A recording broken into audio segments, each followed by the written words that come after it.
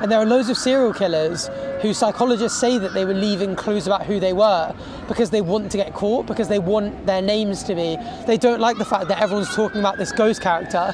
They want all the cameras on them because they're a sort of, you know, narcissist and they want their names out there. And there was one funny case I actually did with with Freezy and Chip on the Fellas Mysteries, and one of the guys who committed this crime used to go into the police station, ask about suspects and give them fake theories. Right, and it didn't take them long for us to be like, this guy's a bit weird. Like, should we just look into him? And he got caught.